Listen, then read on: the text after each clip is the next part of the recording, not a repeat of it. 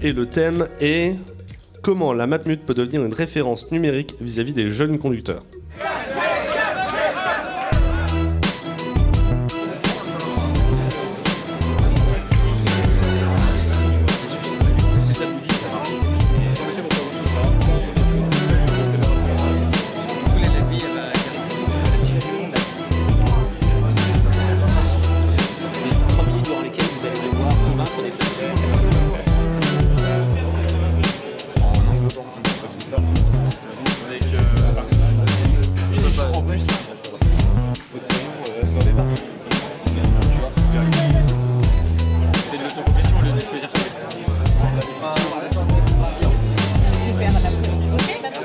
pas qu'on utilise faire la même chose là